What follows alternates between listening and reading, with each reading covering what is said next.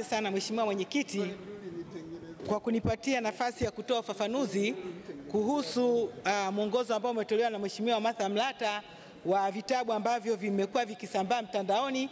Na mimi Mheshimiwa Mwenyekiti, nimepata nafasi ya kuona kitabu cha Kiingereza cha darasa la tatu ambacho Mheshimiwa Mwenyekiti, kitabu kinachosambaa mtandaoni cha darasa la tatu ni kitabu ambacho kilikuwa na makosa ambayo yamekwisha fanyiwa marekebisho na wahusika tayari wamekwisha chukuliwa hatua. Lakini pia kipo kitabu ambacho kinasambaa ambacho kinaonyesha mwili wa binadamu na kwa kweli mishale ya ile ya mwili wa binadamu imewekwa ovyo ovyo.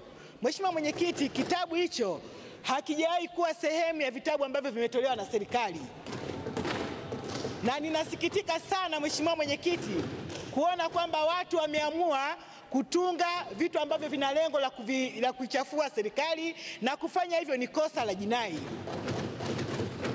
Mheshimiwa Mwenyekiti, ninafurahi kwamba vyombo vyetu vya ulinzi na usalama viko hapa leo.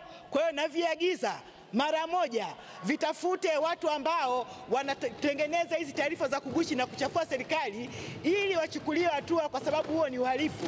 Sisi tumeipokea vizuri, kubwa hiyo tunasema ni information imekuja kwetu, tutafungua jarada, tutapeleleza e, na kama tutabaini kuna mtu ambaye amevunja sheria tutampeleka mahakamani. Kwa hiyo kimsingi ni taarifa tumeipokea, na bahati mbaya mimi sijaona vitabu vilivyotupwa kwenye, kwenye mitandao, lakini watu wangu wanafuatilia ili tuweze kupeleleza, mtafuta aliyetupa hivyo vitabu, kutafuta ushahidi uliopo. Mwisho wa siku, kama kuna kosa litabainika, tutampeleka mahakamani. Lakini maelekezo ya Mheshimiwa Waziri nimeyapokea na nimeanza kuyafanyia kazi sasa hivi.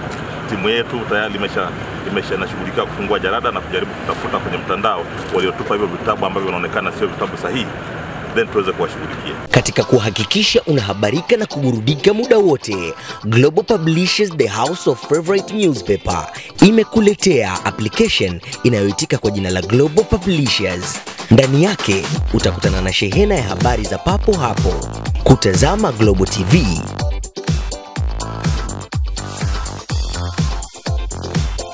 kuenjoy burudani ya muziki, kusoma magazeti yanayozalishwa na Global Publishers, vitabu vya kusisimua vya mwandishi na mtunzi Eric Shigongo na michezo.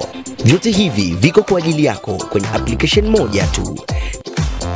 Ni Global Publishers. Ingia sasa Google Play na App Store na udownload bure application hii ya Global Publishers, ufurahie na kuwa wa kwanza kuhabarika. Global Publishers, the house of favorite newspaper.